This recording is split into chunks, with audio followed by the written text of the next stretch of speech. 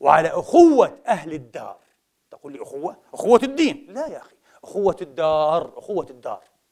أنا أخي في الدار قد يكون مسلما وهذا له أخوة مضاعفة. أخوة الدار وأخوة الدين. مثل ما قال النبي في الجيران والجيران لهم إيه؟ آه جار له ثلاثة حقوق. جار مسلم وقريب قريب قريب الدم. وجار له حقان مسلم غير قريب. وجار له حق واحد. يا سلام على رسول الله. شوف الجمال المحمدي. صلى الله على محمد وآل محمد وسلم تسليما كثيرا. قال لك جار غير مسلم يهودي ملحد مرتد أيا كان يعيش في الدار. يعيش في الدار. قال لك له حق الجوار. الزكوات حين توزع. ما الأصل؟ في رأي طائفة عظيمة لعلها الجمهور من العلماء. الأصل في توزيع الزكوات أن توزع على أهل المحلة كما في حديث معاذ في الصحيح.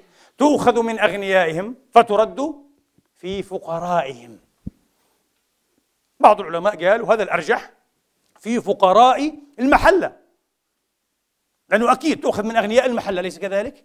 طيب نفس الطريقة. تؤخذ من أغنيائهم فترد في فقرائهم. أن تقول لي تؤخذ من أغنياء المحلة وترد في فقراء المسلمين؟ تفكيك صار. نوع من التفكيك. فقدنا التجانس. تجانس من إيه من أغنياء المحلة فترد في فقراء المحلة.